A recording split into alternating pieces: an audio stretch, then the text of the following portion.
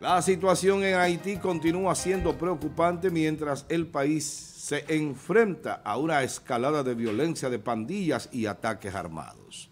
En medio de este contexto se han presentado nominados para un consejo de transición que se encargará de seleccionar a un primer ministro interino, según líderes caribeños.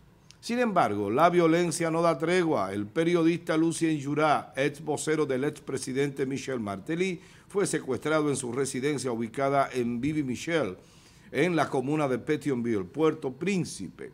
Según informe de medios locales, un grupo de bandidos armados irrumpió en su casa por la tarde.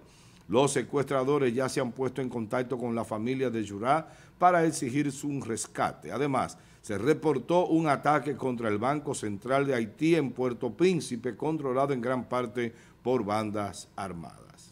En medio de la crisis, el Consejo de Seguridad de las Naciones Unidas ha anunciado el inicio del envío de ayuda humanitaria a Haití a través de un puente aéreo desde la República Dominicana. Sin embargo, el canciller dominicano Roberto Álvarez ha reiterado que no existe un acuerdo formal entre la República Dominicana y la ONU para establecer dicho puente aéreo desde el territorio dominicano hacia Haití. Bien, esa es la información, esa es la noticia. La pregunta del día, ¿qué medidas cree usted que podrían tomarse para abordar la escalada de violencia y los ataques armados en Haití. 829-451-3381 es la vía de comunicación y allí vamos a estar respondiéndole su comentario o su respuesta a la pregunta. ¿Qué medida usted cree que es necesaria para abordar la escalada violenta en Haití? Fulvio, adelante. Bueno, doctor, este tema haitiano va a estar siempre en, gravitando, en, nuestros alrededores porque somos parte de una isla y algo disfuncional. En el tema, por un lado, estamos nosotros con instituciones más sólidas y desarrollo, y por otro lado está Haití con una historia de, de violencia, una historia también de falta de estabilidad política. Política, social, económica. política, social y económica, así, así como usted lo expresa. Entonces, eh, ya ha llegado al cenit, ya ha llegado eh, a la cumbre de lo que puede llegar un país en la degradación de lo que es el respeto por la vida, y esos derechos principales que inalienables que tiene la humanidad. Eh, Petonville, que es una de las ciudades de élite haitiana, aparecieron muchísimos cadáveres. 12 cadáveres. Tirados en las calles. Entonces, eso se da en todos los sectores eh, de, de, los barrios marginales, pero en la ciudad, en la ciudad de élite no se estaba dando. Ya se, ya se está dando. Ya ellos eh, han saqueado las principales cárceles, pero ayer le entraron al Banco Central, de Haití. ¿Qué pueden ellos encontrar en el Banco Central de Haití? Porque son eh, estrategias, son ataques estratégicos. No es que van a encontrar muchas cosas ahí, pueden encontrar mucha deuda. El tema es eh, la importancia que reviste decir que la guerrilla tiene que los pandilleros tienen, que pudieron entrar al Banco Central. Y así también está la seguridad ciudadana en el suelo, está también el transporte, están entonces todas las embajadas están sacando a su gente, pero ¿por qué duraron tanto? Si se veía venir. Cada vez se, eh, ve más cerca la posibilidad de que ya lleguen los grupos porque eh, eh, a controlar y también cada vez se ve más cerca la necesidad de que vengan eh, los organismos internacionales bajo la fórmula que tienen, donde ya tienen seis seleccionados para un equipo de transición. Eh, eh, ¿Cómo se llamó aquí aquella vez? Un triunvirato en aquel momento. En aquel momento. Ahora son seis, son seis, que fueron seleccionados para que ellos puedan mínimamente organizar el Estado y presentar la posibilidad de elecciones libres. Sería un sextubirato. Exactamente. Bueno. Buenos días, Carolina. Buenos días, Amado. Buenos días, Fulvio. buenos días a Francis y buenos días a toda la gente que está con nosotros en este momento. Francis, buenos días. Buenos días, Amado. Buenos días, Fulvio, Carolina, amables televidentes. Agradecido de Dios por la luz de este día y que nos ayude a desenvolver en él. Que nos dé inteligencia, un pedido que hago cada mañana por mí y por todos. Buenos días, yo soy Francis Rodríguez. Bien, vamos al tema, Francis. Adelante. Fíjate, la actualización de situación en Haití, violencia persiste y, y esfuerzos de transición. Ya hemos dicho que Haití, su solución debe ser en Haití. Que a pesar de que por años la República Dominicana ha tenido que, luchar contra presiones internacionales que han pretendido la solución haitiana con una solución dominicana cosa que sabemos y, debe de llamarle a ello la atención, que sería como mutar aquel problema en toda la isla. Y que nosotros no hemos sido pasivos ni ajenos a esa realidad. Creo que si han llegado a esta, a esta etapa o a este tiempo, tratado como un país, como una nación, ha sido por la solidaridad y la carga que ha resultado para la República Dominicana esa situación. En definitiva, Haití no existe o no se visualiza un liderato, que ese es el gran problema, donde todos quieren ser. Y ellos están, ellos están pulseando sectores, pero con, una, con un ingrediente peligroso que son las bandas que no, no responden ni a línea política ni a ideología, sino al control que ellos mismos se han definido, incluyendo la amenaza de que estarían unidos de llegar una fuerza de pacificación y no hay otra salida que no sea la intervención. En definitiva, no hay otra salida que no sea la intervención. y a ello, perdón, y a ello ponerlo en una mesa y sacar lo que se visualiza con un poquito de, de orientación hacia una verdadera nación entonces, con respecto a esta realidad, cito las medidas que, Bahamas como Estado está tomando por la crisis de Haití. En cambio, si República Dominicana la empieza a tomar, se le veda o se le critica. Bien. Y verdaderamente quien debiéramos estar atentos y tener cerrado todos los caminos hacia este territorio es República Gracias, Francis. Buenos días, Yerian.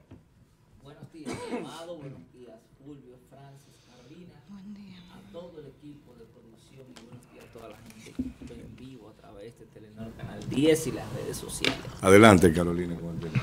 Miren, muchachos, definitivamente esto está en un punto de descontrol alarmante y creo que las medidas que se han tomado acá en el país son o deberían de tomarse en consideración en búsqueda de si en un momento determinado haya que tomar medidas más severas o más drásticas partiendo de la realidad y el peligro que representa Haití eh, en estos momentos para nosotros como los más cercanos. Eh, estamos hablando de que estas bandas o los pandilleros se han adueñado de las principales instituciones mandando un mensaje de poder, de toma de terrenos y de la toma de la nación eh, en consecuencia o de manera eh, buscando un punto definitivo, de tomar el control total de la nación. Y lo que te dice esto es que cosas que no se esperaban que pasaran, como llegar a, como llegar a puntos o lugares donde eran intocables, zonas privilegiadas o las llamadas zonas de los ricos en Haití, la capital, Banco Central. Aquí hay una información del ex vocero del expresidente Martelly de que está secuestrado. O sea, estamos hablando que ahí hay un nivel de inseguridad insostenible. Estamos hablando de que lo que está pasando en Haití es que lo que se puede visualizar según las informaciones que por arriba obtenemos es que las bandas están a un punto, a un punto muy importante de lograr su objetivo. Vemos la información de que la Organización de las Naciones Unidas, en búsqueda de esta ayuda alimentaria a los países en condiciones vulnerables, está planteando la iniciativa de que sea a través de la República Dominicana como una forma de hacerlo más seguro. Eso por un lado. Habría que establecer la manera, de hecho vimos al canciller del país que dice que no tienen establecido nada formal, aparentemente no ha habido reunión, no ha habido un documento formal enviado desde allá. Y es solamente la información planteada desde la organización. Se supone que estaremos viendo entre el día de hoy, mañana o esta semana, hoy es miércoles, de que cómo se estaría planteando o cómo estarían ellos interesados en que la República Dominicana, si la República Dominicana acepta, o que se eh, busque la forma en que desde el país se pueda llevar soporte, eh, soporte alimentario a estas personas, señores. Humanitario. Humanitario. Eh, hay que ver los cadáveres en las calles. La gente pasándole por arriba como si fuera ni un gatito muerto. O sea, estamos viendo seres humanos matanzas de seres humanos en las calles de Haití y una llamada comisión de transición que no ha podido, pues sabemos que es un proceso eh, que conlleva muchas cosas, poder lograr eh, eh, estas condiciones a través de esta comisión, independientemente de si estén afuera o dentro, o sea, no es algo tan sencillo y partiendo de la realidad que vive Haití ahora de que se pueda adecuar para que pueda haber un proceso electoral en Haití de esta forma? Definitivamente me parece que no. Entonces, por otro lado, vimos que había un toque de queda, eh, lo extendieron hasta el día, bueno, me parece que hasta hoy, 20 de marzo, lo habían extendido. Que nadie respeta. sí. No, hay, no hay, no hay un Estado organizado que pueda eh, soportar, o sea, darle soporte a una decisión de esa naturaleza que... Sí, es lo que, lo que podrían hacer en estos momentos, no tienen forma de hacer otra cosa. la información que se tiene periodísticamente hablando es que el toque de queda nadie lo ha respetado. Ok, ese es otro punto. Pero desde el punto de vista de las autoridades que, que podrían tener en estos momentos, es eso, de que hacer un llamado a la gente que no salga de sus casas, que se quede ahí para tener el mínimo de seguridad que no está en las calles. Gracias, Carolina. Ayer ya. Bueno, que lo de Haití es llover sobre mojado. Hablar de la violencia de Haití es hablar de su cultura, es hablar de su, de su historia. Violencia tenemos aquí en la República Dominicana con 11 muertos en una en la victoria. Eso sí, eso sí es lo que nos debe preocupar a nosotros ahora mismo. 11 muertos, quemados. Mandé a ustedes el video para que vean la realidad cruda. Sepan lo que es. Eh, así de crudo. Muertos. Haití es Haití. Haití debe, y ya así lo han establecido los organismos internacionales, Haití debe resolver su problema Haití como ellos quieran. Lo quieren resolver con violencia, con violencia. Incluso aquí estoy viendo una publicación de la banda o supuesta banda, porque nosotros nos cuentan la historia de este lado.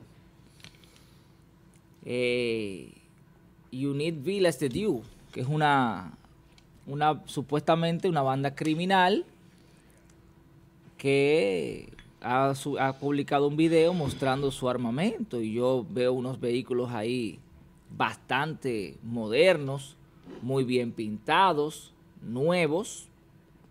Entonces, llama poderosamente la atención quién le, le suministra a esta gente, escúchame que estoy tratando de, de mostrar el video que no pude, no pude enviarlo, quién le suministra a ellos ese armamento, porque es interesante saberlo, quién se lo suministra.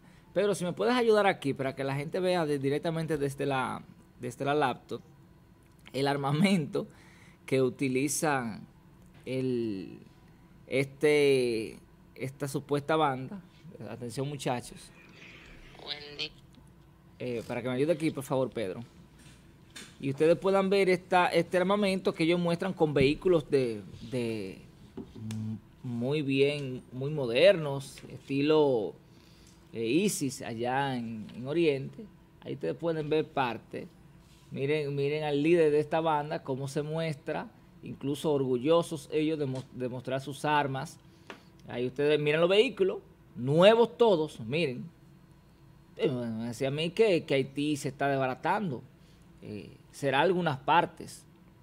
Miren esos vehículos, estilo ISIS, muy bien pintado, muy bien trabajado. Miren las armas. Eh, un video muy bien logrado.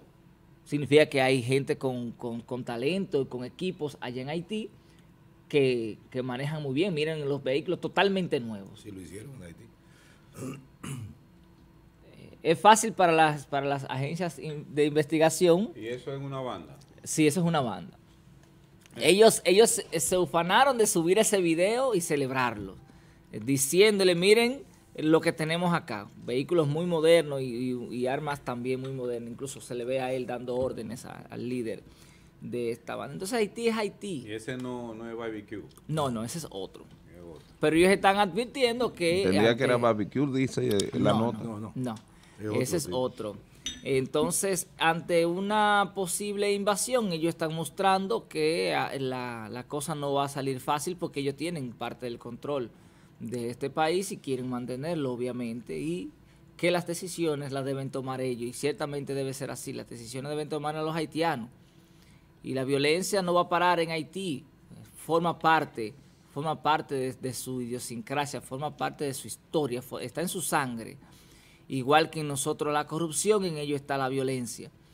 Y eso no hay que discutirlo en este programa Bien, porque históricamente está probado. Muy bien, entonces, eh, yo me pregunto, ¿quién paga, quién paga los gastos? Decía Facundo Cabral, Dios dirige la orquesta, el diablo dirige el coro, el hombre paga los gastos. Yo pregunto, ¿quién paga los gastos en Haití? ¿Quién está detrás de la inversión que se requiere para mantener, para alimentar Hay, a, a 60 hombres, 70 hombres, 200 hombres. hay, hay, una, mar- hay una marcada eh, gerencia administrativa empresarial detrás de la cortina. Ujú. Una ala de lo que es el tráfico de droga y otra ala de lo que es el tráfico de armas, que pueden estar juntas y pueden coincidir en muchas partes. Eh, Haití ha ido sumando, sumándose a intereses que cada quien está tomando un espacio del territorio. O sea, si usted se pone a ver, esta Eh, banda es que fuerte. acaba de mostrar eh, Yeyan, pero esta no, porque esta, eso, el- eso debe ser un, un- un billete largo el que se requiere para mantener. Supónganse ustedes que tenga 150 hombres. A cada uno de esos hombres hay que darle mínimo un, un par de botas. Bueno, Somalia. Mínimo un par de uniformes.